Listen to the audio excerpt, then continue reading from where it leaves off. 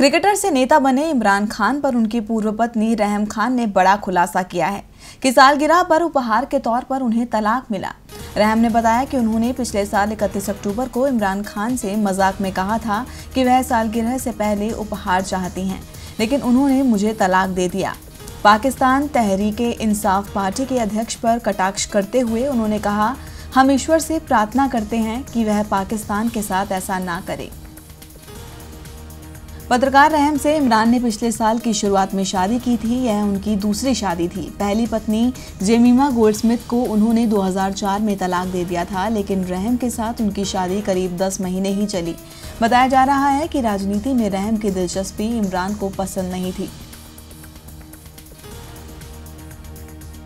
हालाँकि रहम ने बताया कि अलग होने के लिए वे दोनों खुद जिम्मेदार हैं। शादीशुदा ज़िंदगी और तलाक को लेकर उल्टे सीधे बयानों पर अफसोस ज़ाहिर करते हुए उन्होंने कहा कि उस वक्त ऐसा लगता था कि जैसे पूरा पाकिस्तान ही मेरा ससुराल है। इससे पहले गार्डियन में लिखे एक लेख में उन्होंने कहा था कि एक प्रभावशाली व्यक्ति से शादी भी आपको उलाहनों से नहीं बचा सकती। तहरीक इंसाफ पार्टी के अध्यक्ष इमरान खान पर उनकी पत्नी ने सनसनीखेज खुलासा किया है और ये भी प्रार्थना की है कि वो पाकिस्तान के साथ ऐसा कुछ ना करें। ऐसे में अब रहम के आरोपों पर इमरान खान क्या प्रतिक्रिया देते हैं, ये देखना फ़िलहाल बाकी है। देखते रहिए डीबी लाइव